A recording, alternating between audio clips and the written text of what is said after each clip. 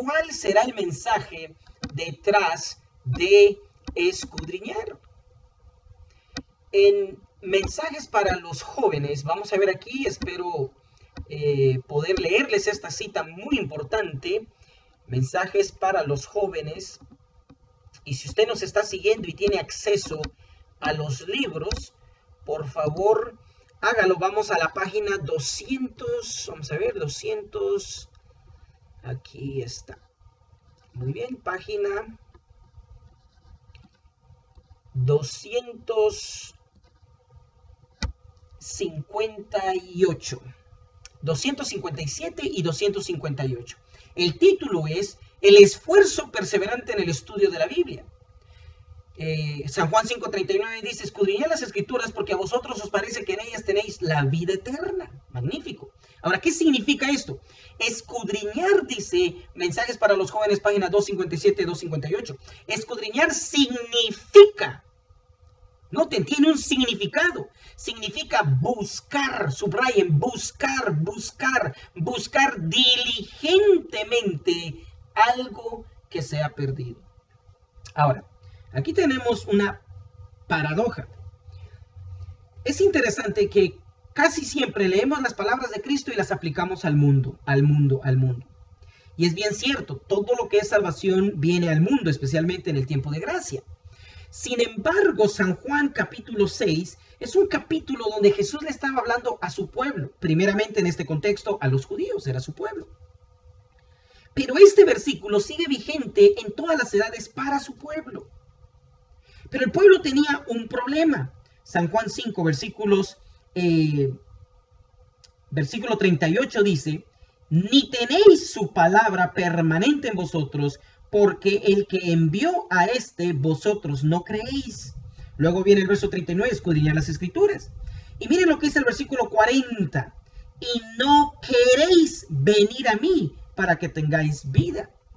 El problema que Jesús encontró con su propio pueblo era, no quería estudiar, no quería escudriñar, no quería venir a la fuente de la palabra, no querían ni tenían la palabra de Dios.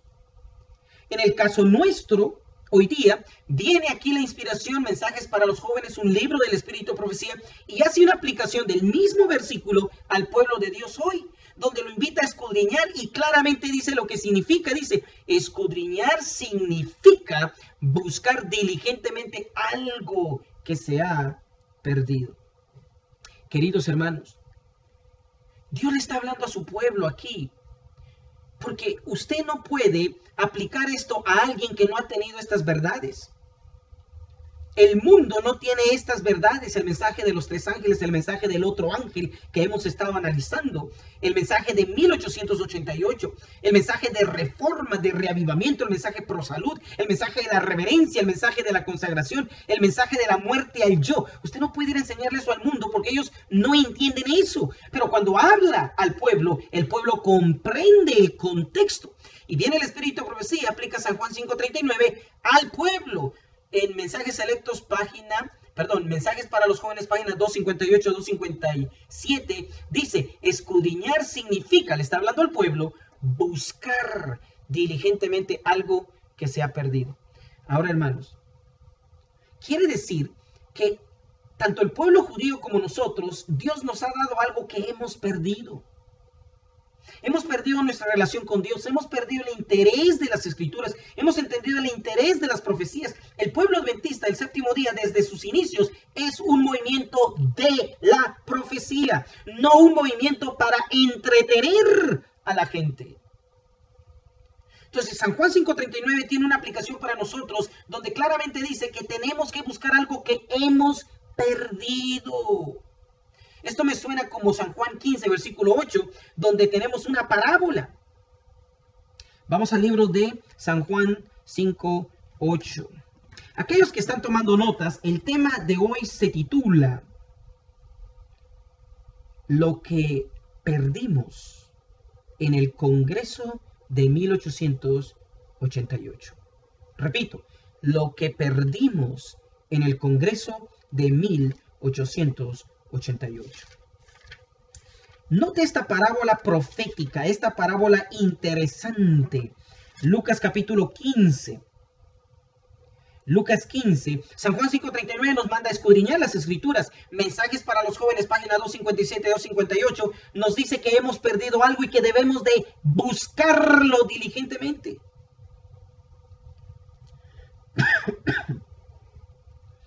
Lucas capítulo 15, versículo 8 dice así, oh, ¿qué mujer tiene 10 monedas? Y si perdiere una moneda, ¿acaso no va a encender la lámpara, el candil, y barre la casa y la busca con diligencia hasta hallarla? Queridos hermanos, aquí encontramos que como pueblo tenemos un problema. Esta mujer aquí perdió algo. Noten, una mujer, diez monedas, una moneda perdida. Hemos perdido algo. ¿Será que esto tiene una aplicación a nosotros? Interesante. Mire lo que dice Palabras de Vida del Gran Maestro. Mujer en profecía, mientras busco aquí la cita, mujer en profecía representa una iglesia.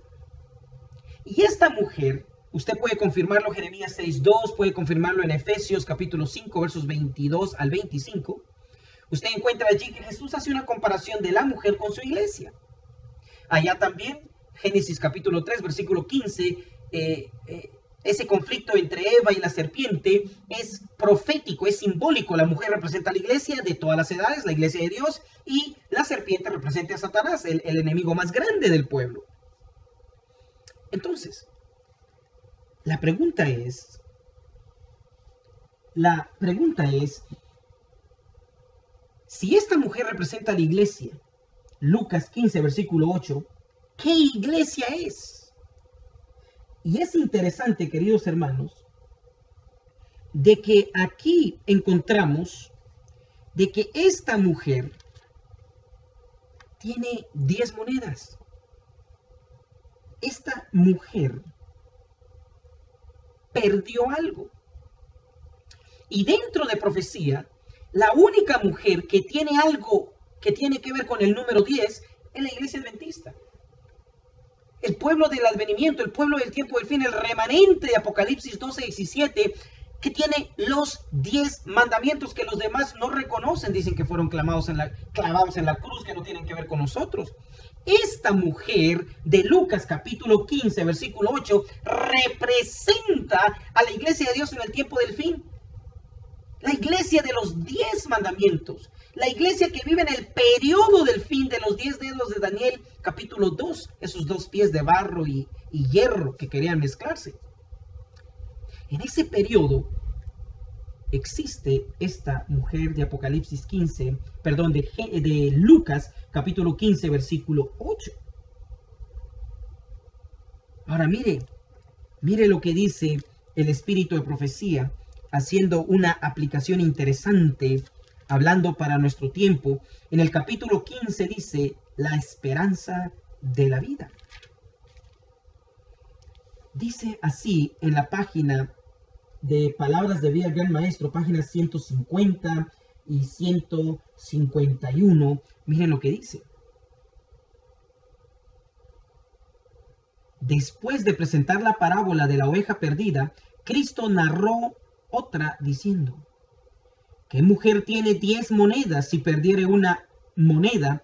¿Acaso no enciende el candil, la lámpara y barre la casa y la busca con diligencia hasta hallarla? Interesante. Esta parábola, como la anterior, presenta la pérdida de algo que mediante una búsqueda adecuada se puede recobrar y eso con gran gozo. note, note. Pero las dos parábolas representan diferentes clases de personas. La oveja extraviada sabe que está perdida. Se ha apartado del pastor y del rebaño y no puede volver. Representa a los que comprenden que están separados de Dios. Y esto solamente pueden ser aquellos que han conocido de Dios, que se han separado de Dios, que se hallan dentro de una nube de perplejidad y humillación y se ven grandemente tentados. Ahora, capta lo que ahora dice que representa la moneda o, quiénes son los que perdieron la moneda. En la parábola dice que la mujer está en la iglesia. Tiene una aplicación para nosotros, mire lo que dice. La moneda perdida simboliza a los que están perdidos en sus faltas y pecados, pero no comprenden su condición. Ahora usted dirá, ah, bueno, esos son los del mundo, que ellos no saben que están perdidos. No, esta moneda está en la, estaba en la mano de la mujer. Es alguien que Dios dio a proteger a la mujer. La mujer es responsable y la mujer no es el mundo, la mujer representa a la iglesia. Así como la iglesia judía dentro de sus propias puertas tenía a un sinnúmero de personas perdidas, que eran los judíos mismos, que creían que por estar dentro de la iglesia estaban bien. Se estaban perdiendo en sus pecados y faltas. No creían que necesitaban de Dios. Así esta moneda, la moneda perdida, simboliza a los que están perdidos en sus faltas y pecados, pero no comprenden su condición.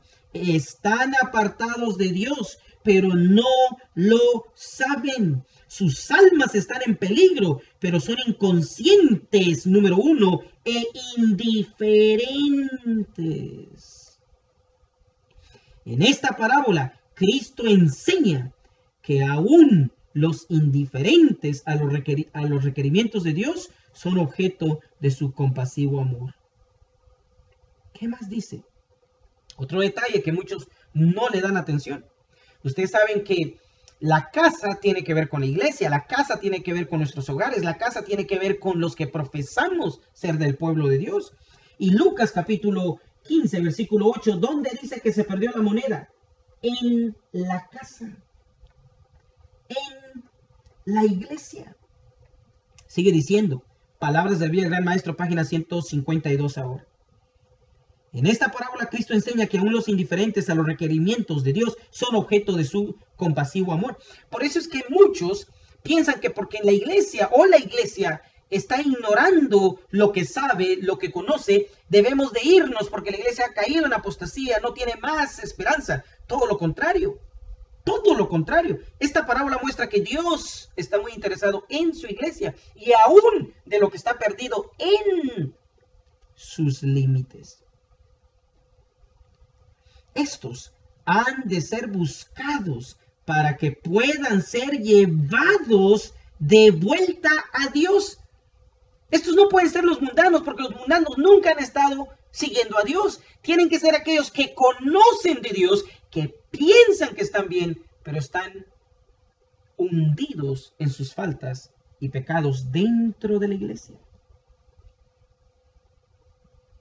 Noten, la oveja se extravió del rebaño, estuvo perdida en el desierto, en las montañas. La moneda se perdió en la casa. Estoy leyendo palabras del gran maestro, página 152. Estaba a la mano, pero solo podía ser recobrada mediante una búsqueda diligente. Hermanos, podríamos seguir leyendo, hay mucho más. Hay mucho más. Pero bueno, ¿qué tiene que ver esto con 1888? Es que ese es el problema, ese es el punto. Hermanos, nosotros como pueblo hemos perdido algo. Leímos, leímos claramente allá en eh, mensajes selectos, mensajes para los jóvenes, mensajes para los jóvenes, página 257, 258, que escudriñar significa buscar diligentemente algo que se ha perdido, algo que se ha perdido.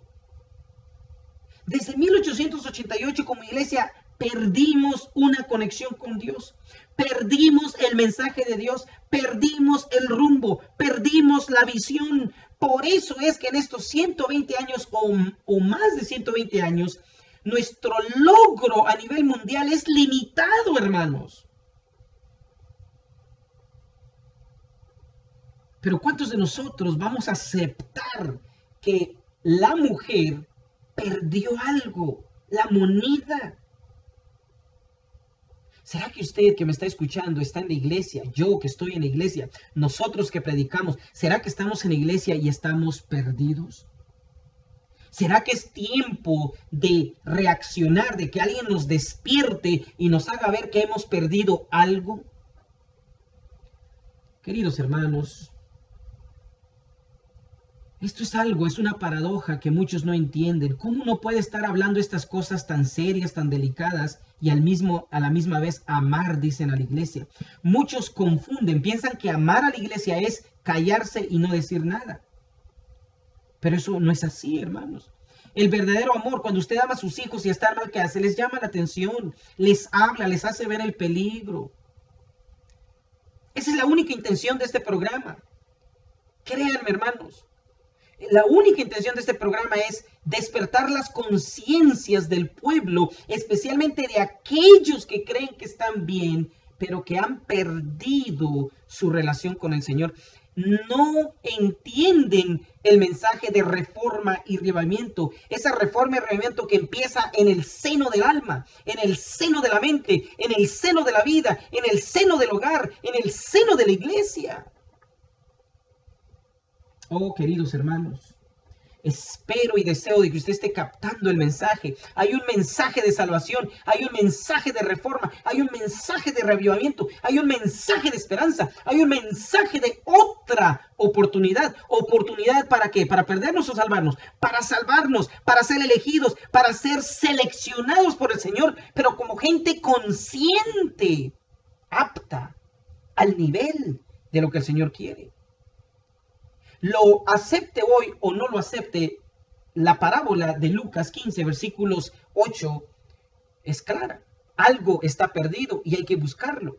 Y yo, Miguel Martín, les estoy diciendo aquí que hemos perdido el mensaje de 1888, el mensaje que Dios mandó a través de los pastores John C. Wagner, el mensaje que la sierva de Dios dio todo su apoyo. Hoy, hermanos, e-, es raro uno entre cien, cinco entre mil predicadores hablan de estos temas. Nosotros, la verdad profética, creemos que es necesario.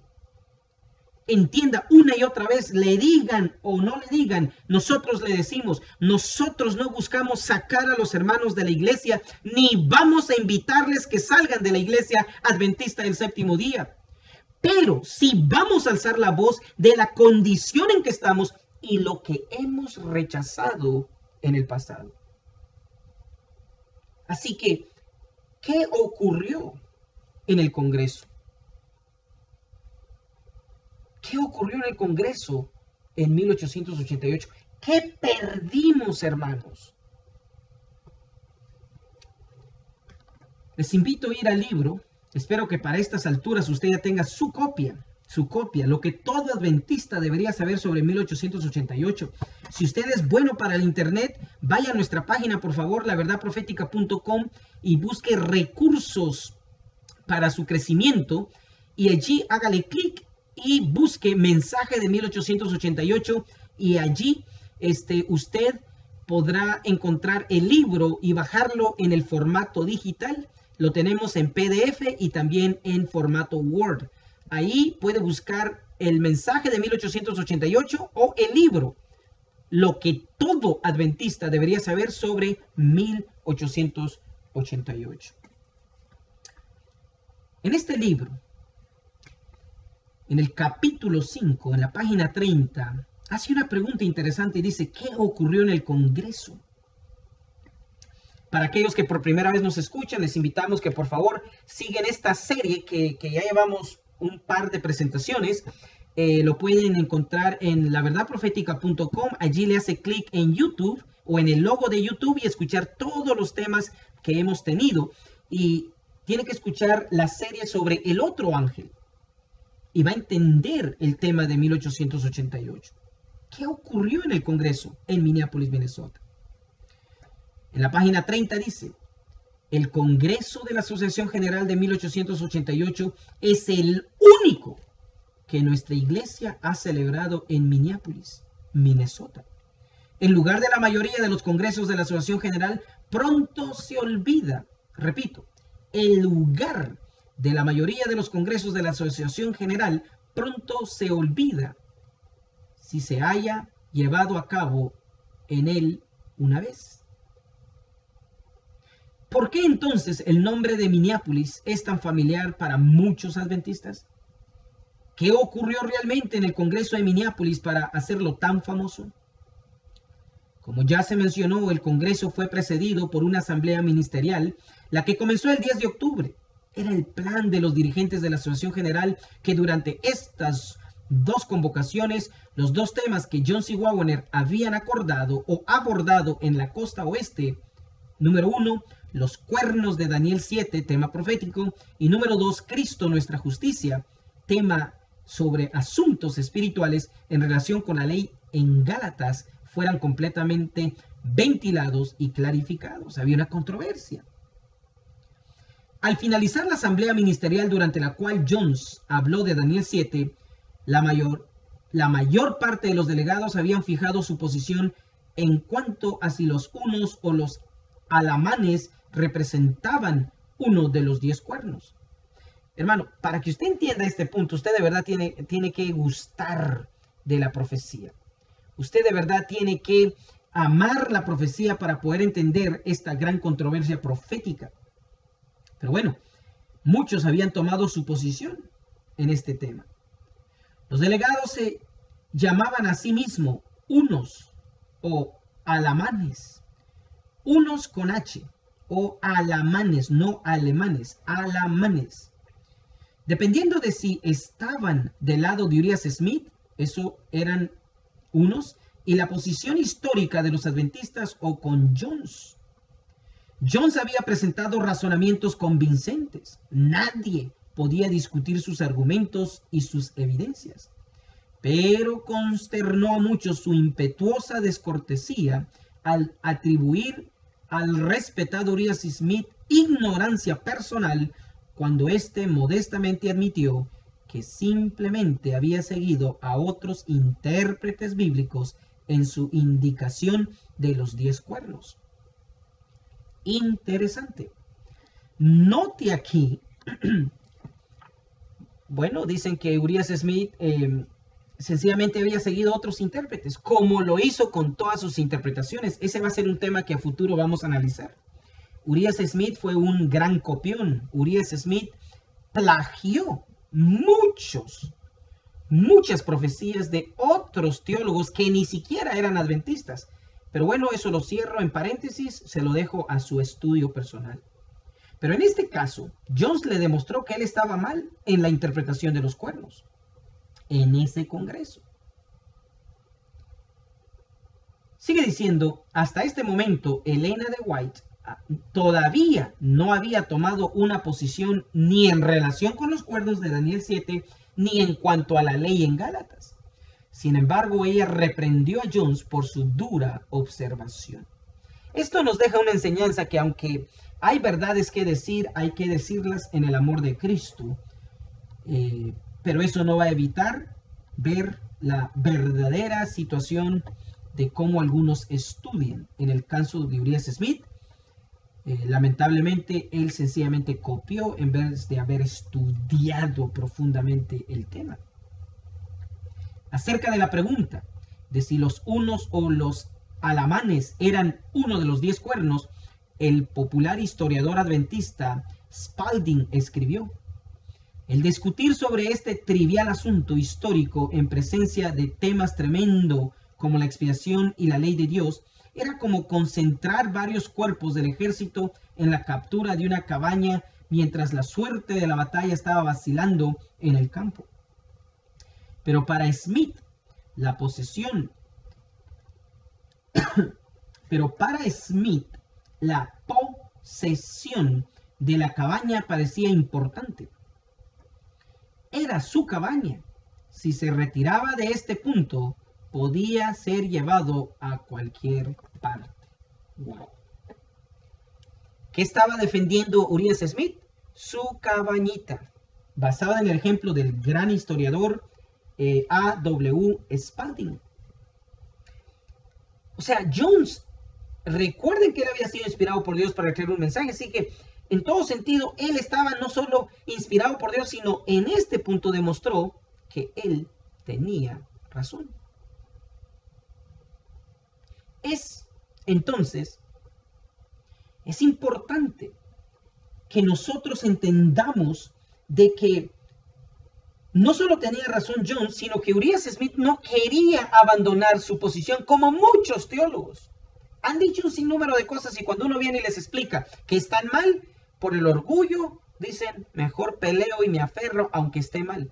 De otra manera voy a perder credibilidad, influencia, la gente no me va a respetar. Y, ustedes saben la historia. Muchos pastores tienen la misma actitud del pastor Urias Smith. Bueno, eso es una lección que podemos sacar. El desacuerdo acerca de los cuernos fue el preludio de la disensión en cuanto a la doctrina de Cristo. Esto complicó el tema de la doctrina de Cristo, la justificación por la fe. Este fue el tema real de la contienda durante el Congreso, y este tema involucraba la ley en Gálatas. Wagoner aplicaba textos acerca de la ley como nuestro ayo de Gálatas 3:24 a la ley moral Noten a la ley moral, no ceremonial.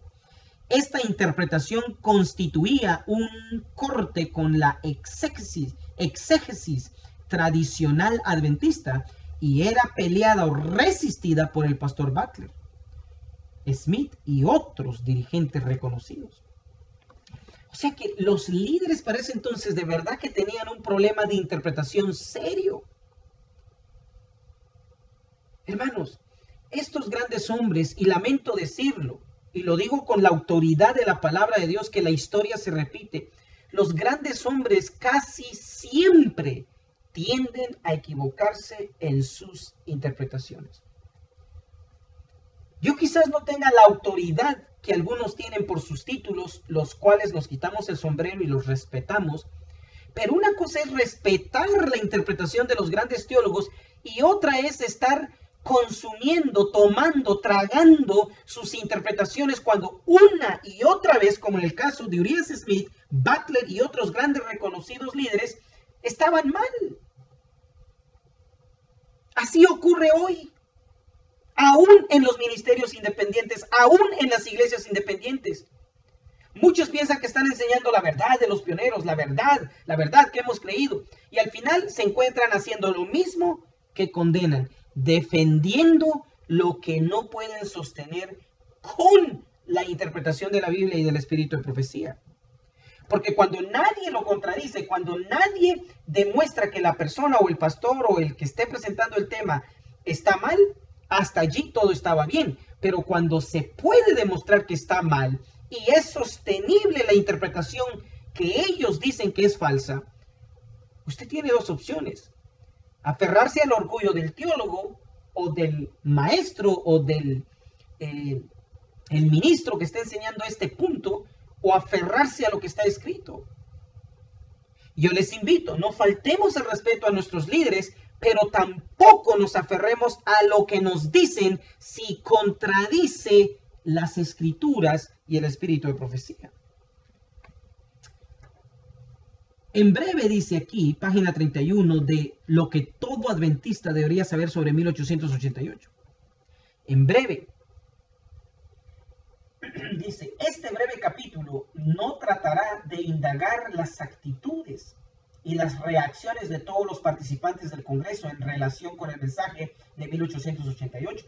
Más bien, se limitará a las declaraciones que hizo Elena de White, sierva de Dios, acerca de cómo reaccionaron los delegados durante el Congreso.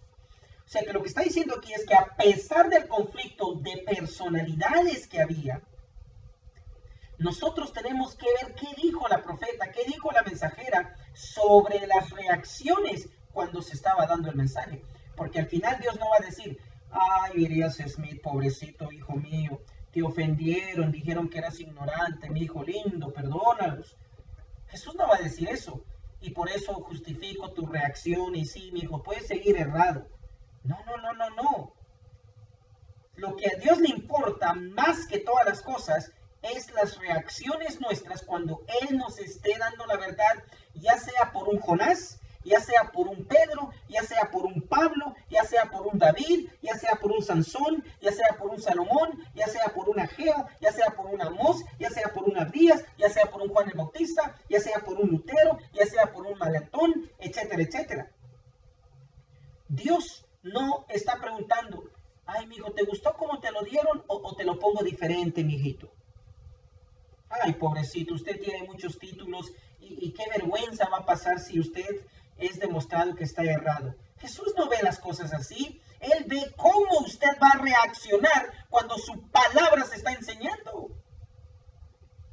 Si yo tendría que escoger entre Pedro y Pablo, yo escojo a Pablo. Me gusta la manera en que él presenta su mensaje, más que Pedro. Pero eso no cambia las verdades que Pedro dijo a su manera. Interesante, interesante. Muy bien, entonces vayamos al punto. ¿Cuáles fueron las reacciones? Dice así. Primero consideremos algunos de los acontecimientos que se produjeron durante el Congreso. Esto explicará lo que dice Elena de White de ciertos dirigentes en algunas de sus declaraciones. Cuando los ministros de más edad estaban cada vez más inquietos por la presentación de Wagoner y Kilgore, un administrador sureño y miembro de la Junta de la Asociación General hizo la moción de que se suspendieran las presentaciones de Wagoner acerca de la justificación por la fe hasta que el pastor Butler, que estaba enfermo, pudiera estar presente. Esto sí que era el colmo, hermanos. El hombre no estaba presente y sin embargo se estaba oponiendo. El hombre no estaba presente y sin embargo el resto de los líderes suspendamos esto hasta que el pastor esté sano. Elena de White, que estaba sentada en la plataforma en esta reunión, inmediatamente se puso de pie y lo objetó diciendo, ¿acaso quiere el Señor que su obra espere al pastor Butler? El Señor desea que su obra continúe y no espere en ningún hombre. ¿Quién lo dijo? Elena de White. Lo mismo que ocurre hoy. Dependiendo del hombre, dependiendo del líder, en vez de depender del mensaje de Dios. Si es mensaje de Dios, acéptelo. Y si no es mensaje de Dios, rechácelo. Pero no dependa del hombre, porque Dios no va a esperar en el hombre. Puesto que nadie respondió a la declaración de Elena de White, las presentaciones de Wagoner continuaron. ¿Quién intervino para que siguiera dándose el mensaje allí? La profeta de Dios. De otra manera, se hubiera bloqueado. Miren hermanos, todos los que vamos a congresos, congresos de conferencia general, de asociación, de división, de iglesia, no siempre que hay mociones, para los que entienden términos administrativos, no siempre las mociones o las propuestas son inspiradas por Dios. Muchas de ellas van mezcladas con el egoísmo, con los planes satánicos del hombre, como en este caso. Este pastor, con su autoridad y su capacidad administrativa, quiso detener que Dios siguiera dando el mensaje.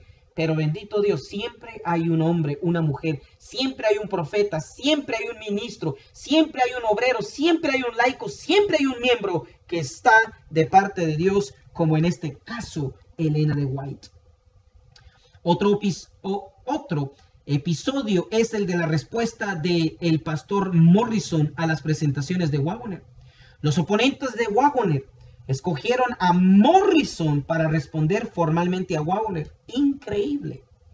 Dijeron, vamos a escoger al mejorcito que argumente con ellos. ¿Y qué pasó? Morrison, presidente de la Asociación de Iowa, sostenía que los adventistas del séptimo día siempre habían creído y enseñado la justificación por la fe. ¡Wow! Él dijo, hey, ¿cuál es el pleito aquí? Siempre lo hemos creído y siempre lo hemos enseñado. Esto, por supuesto, era técnicamente correcto, pero no reconocía que estaba esta doctrina fundamentalmente correctamente entendida y como resultado de una experiencia personal con Cristo, había sido oscurecida por un ensombrecedor énfasis en la ley. Aunque sincero y fervoroso en su presentación, no logró convencer a muchos de sus oyentes de que la enseñanza de Wagoner no era la verdad presente de la palabra de Dios. Bendito el Señor. Fracasó otro de los grandes agentes del enemigo. La respuesta de John C. Wagoner a la presentación del pastor Morrison fue sencilla y sin pretensiones. Escogieron no hacer comentarios personales, sino que se limitaron a leer 16 pasajes de las Escrituras. Prevaleció entre la audiencia un sorprendido silencio mientras ambos se ponían de pie y leían en forma alternada los pasajes. Luego de leerlos, volvieron a sus asientos, se ofreció una oración y la reunión concluyó. Esta refutación singular a la presentación de Morrison dejó una impresión profunda e imborrable en los delegados. Ay, ay, ay, el tiempo está transcurriendo, quedan pocos minutos. Si aprendiéramos, hermanos, a hacer lo mismo cuando presentamos la palabra, cuando presentamos una contraparte, dejemos a un lado los argumentos. Si es el mensaje de Dios, leamos las escrituras, leamos los textos del Espíritu Profecía y callémonos, ya no digamos más. La verdad va a triunfar como hijo hizo aquí John C. Wagoner ante este gran pastor Morrison y presidente de una asociación. Elena de White habló unas 20 veces durante la Asamblea Ministerial y el Congreso. En su primera presentación al Congreso durante la mañana del 18 de octubre, en forma tangencial, enfatizó la necesidad de una experiencia viva de justificación por la fe al alentar a sus oyentes con las palabras de Jesús. Ella dijo, sin mí nada podéis hacer, San Juan 15:5. Ella dijo, se nos ha encomendado una verdad grande y solemne para estos últimos días, pero un mero asentimiento a la verdad y una creencia en ella no nos salvará. Esta verdad tiene que repetirse. Una, un mero asentimiento a la verdad, o sea, creer y aceptarla, y una creencia en ella no nos salvará. Los principios de la verdad deben estar entrelazados con nuestro carácter y con nuestra vida. Muchos de nosotros conocemos profecías, conocemos los libros del Espíritu Profecía, nos encanta orar y orar y orar y orar y orar, pero el carácter no cambia, la actitud no cambia. Creemos que ya lo sabemos todo y solo nos pasamos orando o, o, predicando en vez de decir, Señor, ¿qué más tienes para mí? ¿Qué más tienes para tu pueblo? ¿Qué más tienes para enseñarnos? Y sobre todo, aplicarlo al carácter. Los principios de la verdad deben estar entrelazados con nuestro carácter y con nuestra vida. Y ese era el problema con los delegados de 1888 y ese es el problema con la iglesia hoy día. De verdad, hermanos, nosotros tenemos un orgullo de ser adventistas, pero nuestra actitud a la verdad, a nuestros caracteres, es peor que los judíos. La gran necesidad de este momento, dijo ella, es la de humillarnos ante Dios para que el Espíritu Santo pueda entrar en nosotros. Dijo que muchos tenían un conocimiento superficial de la verdad y que necesitaban investigar las escrituras por sí mismos para ver si sus ideas corresponden a la palabra de Dios. En un discurso de los pastores el 21 de octubre, deploró las habladurías y los malos pensamientos presentes en este Congreso. Continuó diciendo, me ha dolido escuchar tantas bromas y chanzas entre viejos y jóvenes en las mesas del comedor. Hizo un llamado a los jóvenes que estaban entrando al ministerio para que prestaran atención a lo que escuchaban y a ser cuidadosos de cómo se oponen a las preciosas verdades, el mensaje de la justificación por la fe, de las cuales tienen ahora tan poco conocimiento. Exactamente una semana después del comienzo del Congreso, el 24 de octubre, en una reunión con los pastores, Elena de White expresó tristemente por qué el Congreso estaba llegando a su fin y no se había hecho ni una confesión. No ha habido ni una sola apertura a fin de que el Espíritu de Dios entre, continuó diciendo. ¿Qué sentido tiene reunirnos todos aquí y que vengan nuestros hermanos ministros si están aquí solo para apartar el Espíritu de Dios de las personas? Esperamos que hubiera un acercamiento a Dios aquí. Quizás ustedes piensan que tienen todo lo que quieren. Hermanos, ella dijo más tarde, hermanos ministros, vinieron al Congreso con un espíritu que no era el espíritu de Dios la ausencia del Espíritu de Dios se hizo, hizo que la verdad fuera inefectiva. Ella declaró, vi que almas preciosas que hubieran abrazado la verdad se han alejado de ella por la manera en que se la trató, porque Jesús no estaba en ella. Y esto es lo que he estado rogándoles todo el tiempo. Necesitamos de Jesús. ¿Cuál es la razón por la cual el Espíritu de Dios no vino a nuestras reuniones? Preguntó ella. Queridos hermanos, concluyo. ¿Qué se perdió en este Congreso? ¿Qué es lo que hemos perdido como pueblo? ¿Qué tenemos que buscar en la casa, en la iglesia otra vez? Tres cosas. Perdimos a Jesús, perdimos al Espíritu Santo y perdimos la oportunidad de una experiencia personal, verdadera y transformadora para con Jesucristo. Oh queridos hermanos, seguiremos perdiendo lo que la mujer en Lucas 15:8 perdió. Seguiremos ignorando y siendo indiferentes al mensaje de 1888. Yo espero, hermanos, que reconsideremos esto y no sigamos los pasos de nuestros antepasados. Concluyó la sierva de Dios diciendo, página 35 del libro 1888. Se me ha instruido que la terrible experiencia del Congreso de Minneapolis es uno de los capítulos más tristes en la historia de los creyentes en la verdad presente. ¿Cuál es la historia más, más, más triste de nosotros los adventistas del séptimo día? La que se registró, la que se rechazó, la que se ignora, la historia del mensaje que fue rechazado del otro ángel en 1888. Queridos hermanos, ha sido un placer. Me despido con una oración y será hasta la próxima, ya que el tiempo se nos ha terminado. Querido Dios, Despierta tu pueblo, Señor. Busca todos los medios para que seamos inquietados a buscar lo que hemos perdido. En el nombre de Jesús, la parábola dice que se encontró. Vamos a encontrar a Jesús, vamos a encontrar al Espíritu Santo, vamos a encontrar esa experiencia que tú quieres ver en nosotros. En el nombre de Cristo Jesús la declaro, Padre, como una realidad en tu pueblo. En Cristo Jesús. Amén, amén, amén.